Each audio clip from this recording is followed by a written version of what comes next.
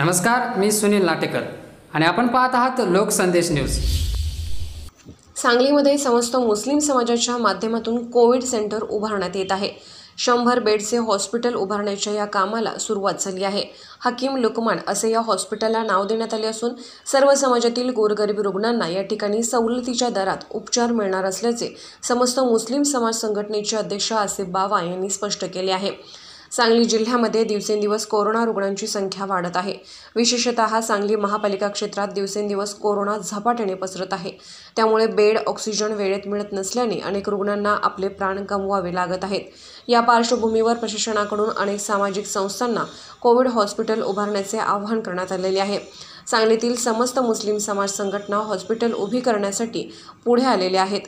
शहरातल्या जिल्हा परिषद शेजारी असणाऱ्या मोहम्मदिया उर्दू हायस्कूलमध्ये शंभर बेडचे हॉस्पिटल उभारले जात आहे. अद्ययावत अशा या हॉस्पिटलचे काम युद्ध पातळीवर सुरू आहे. पाच आय सी यू केअर पंचेचाळीस ऑक्सिजन बेड यांसह पन्नास जनरल बेडची उपलब्धता या ठिकाणी करण्यात येत आहे. या ठिकाणी पुणे मुंबई या ठिकाणाहून तज्ज्ञ डॉक्टरांची टीम उपचारासाठी नियुक्त करण्यात आली आहे. दहा दिवसांमध्ये हे केअर सेंटर सुरू होणार असून या रुग्णालयाला हकीम लुकमान या प्रसिद्ध वैद्यांचे नाव देण्यात आल्याची माहिती समस्त मुस्लिम समाज संघटनेचे अध्यक्ष आसिफ बावा यांनी दिली आहे. या ठिकाणी सर्व समाजातल्या गोरगरीब रुग्णांसाठी अत्यंत माफक दरात कोरोना उपचार पार पडणार आहेत.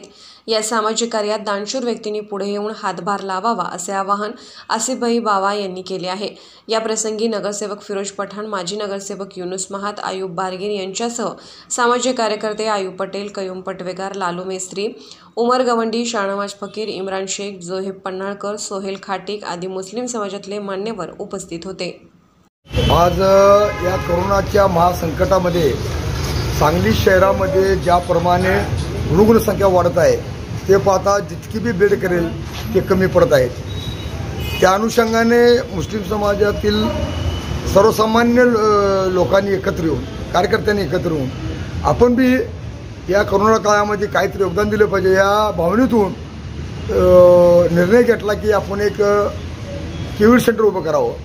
त्या अनुषंगाने आम्ही सर्वांनी एकत्र येऊन कोविड सेंटरची संकल्पना राबवण्याचं ठरवून कामाला सुरुवात केलेली आहे. त्या कोविड सेंटरला हाकीम लुकमान असं नाव दिलेलं आहे. त्याचं कारण असं की हाकीम लुकमान हे युनानीचे जनक आहेत. आणि एक त्याची त्यांच्याबद्दल एक गोष्ट अशी आहे की ती हाकीम इतकी मोठं ते की स्वतः वनस्पती त्यांच्यासाठी बोलत होती की मी कुठल्या रोगावरती आहे अशी त्यांची काही काय आहे. आणि त्यामुळे तिने त्या टायमाला फार मोठं योगदान या आरोग्य क्षेत्रामध्ये दिलेलं आहे. म्हणून आम्ही त्यांचं नाव दिलेलं आहे. आणि त्याप्रमाणे काम प्रतिष्ठामाची सुरुवात केलेली आहे. त्यासाठी आम्ही सर्व समाजाला आव्हान केलेलं आहे.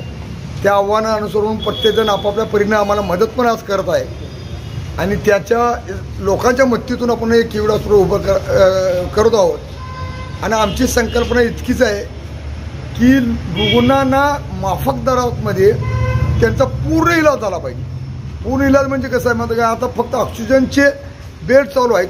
आणि आकस्मिक त्यांना रात्री एक वाजता दोन वाजता सांगितलं जातं की व्हेंटिलेटरची गरज आहे आणि आमच्यापाशी होत नाही. आणि त्या टायमाला ते नातेवाईकांची आणि पेशंटची इतकी हेळसाळ होते की विचारू नका इतके हाल होत असतात.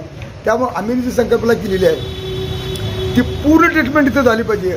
त्यासाठी ऑक्सिजनचे पंचेचाळीस बेड त्याच्यानंतर बॅकअपचे दोन बेड आहेत त्याच्यानंतर एच एफ एन ओचे दोन बेड आणि व्हेंटिलेटरचे तीन बेड अशी आम्ही इथं सुविधा उपलब्ध केलेली आहे. जेणेकरून इथे एकदा आलेल्या रुग्णाला रात्री दीड वाजता दोन वाजता कुठं बाहेर जाता जावे लागू नये किंवा त्याला इकडे तिकडे पळवावे लागू नये.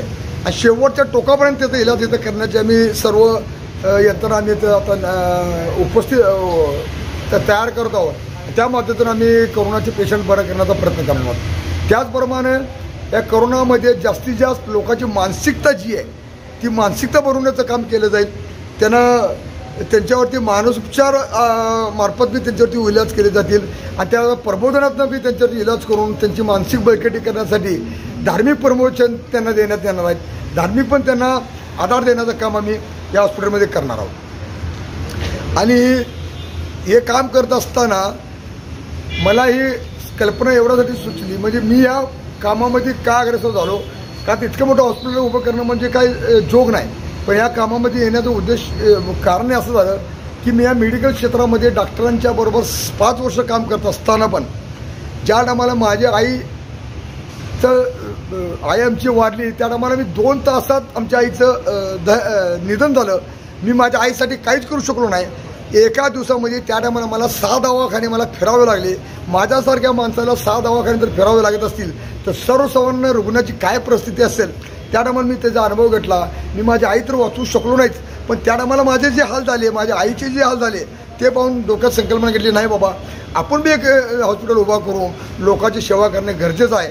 ह्या संकल्पनेतून आम्ही मी याचा पुढाकार घेतला आणि त्यासाठी माझे संचालकांनी बाकी सर्व समाज बांधवांनी फक्त मुस्लिम समाजाचं नाही सर्व समाज बांधवांनी सर्व समाजाच्या लोकांनी मला मदत केलेली आहे आणि मदत मला करत आहेत. आणि अशीच मदत त्यांनी करावी माझी ही इच्छा आहे. आणि त्या ह्या सेंटरमधलं माझं मुळे काम राहील. या सेंटरमध्ये आता पन्नास ऑक्सिजन पंचेचाळीस ऑक्सिजन पाच व्हेंटिलेटर झाल्यानंतर पन्नास बेड हे माझे सस्पेक्टेडसाठी असणार आहेत. म्हणजे टोटल शंभर बेडचं हॉस्पिटल असणार आहे. आणि त्यामध्ये कायमचे दोन ऑक्सिजनचे बेड आणि एक एच एफ एन ओ हा माझा रिझर्व असेल तो माझ्या देणगीदारासाठी असेल. आणि दोन माझ्या ऑक्सिजनची बेड हे फक्त पत्रकार आणि पत्रकारच्या कुटुंबासाठी माझ्याकडे रिझर्व असतील. त्याच्या चार माझे कायम बेड माझ्याकडे रिझर्व असतील.